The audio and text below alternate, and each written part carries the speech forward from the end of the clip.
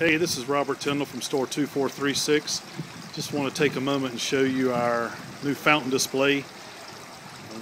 William and Ben from Outside Lawn and Garden uh, worked on this the past couple of days and I just kind of want to show off some of their efforts.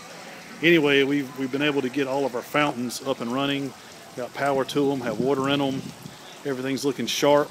Uh, they came up with a concept on using five quarter decking boards as tombstones, which kind of scales it down a little bit and makes it look a lot better for the size of the items that we're dealing with.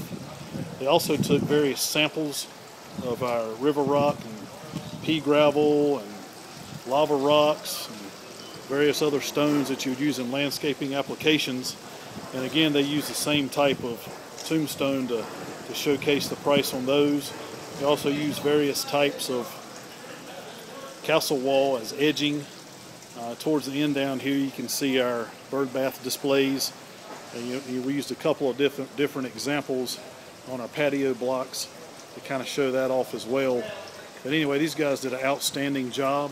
Um, it looks full, it's merchandised, it's priced, everything is operational, it's clean, it's neat, and I absolutely expect to see an increase in sales as a result. Anyway, um, that would William and Ben, you know, set this display up for us and just kind of want to show off their efforts.